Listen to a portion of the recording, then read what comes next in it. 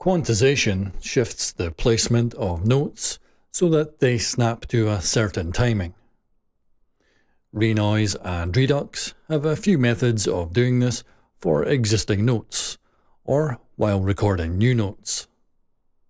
There's also an additional feature you can use when recording new samples.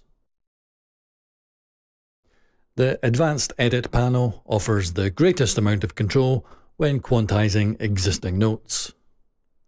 Every 100 steps in the value box is equal to one line in the pattern editor. That is in hexadecimal, so it's 00 to FF per line, representing the delay column. If notes are moved onto the same line as another, then the tracks columns will be extended to accommodate this. In order to maintain previous NNA interactions that may have been changed by moving the notes around, new note offs will be automatically inserted as necessary. Disabling the Preserve Lengths option will cause note-offs to also be quantized, affecting both existing ones and any new ones that are created.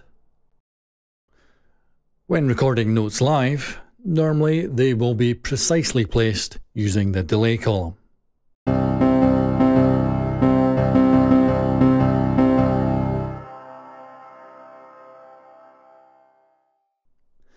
Activating the live quantization feature will instead only record notes to lines that are a multiple of the value chosen here.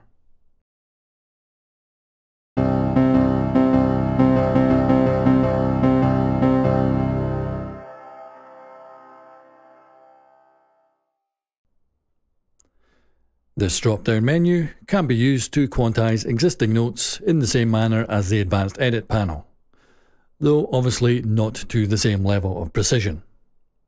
And the right click menu can be used to do this too. The right click menu is the method that you will have to use in the phrase editor. This will still use the value selected in this box, and you can quickly change it from here using the shortcut.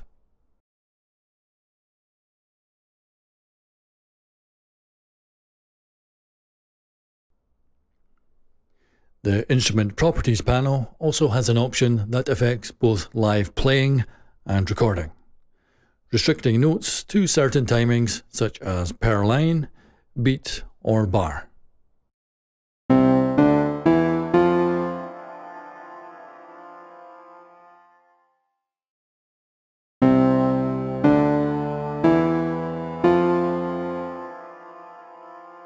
Any note-offs will be recorded at the point that they occur, which can potentially be before the line that the note is quantized to. To combat this, you can enable both of the live methods, with notes quantizing to the instrument editor setting and note offs quantizing to the pattern editor setting. Notes do take precedence though, so if a note off tries to occupy the same line, it will get moved. If you want to, there's a couple of ways of avoiding note offs. Enabling the one-shot toggle in the sample properties will cause that sample to just ignore them.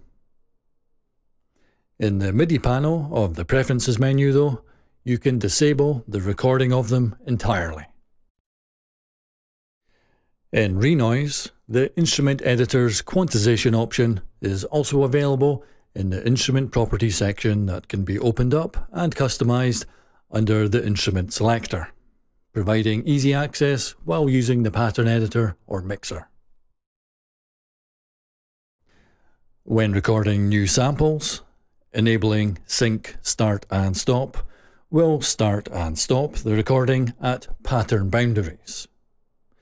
To begin, hit the Start button, play the song, and a progress bar appears displaying how long it will be until the recording starts. If you need a rhythmic count-in, don't forget about the metronome. It's possible to record a single or multiple patterns worth of audio. Hitting stop will keep the recording going until the end of the current pattern. If you want to finish early though, then just stop the song.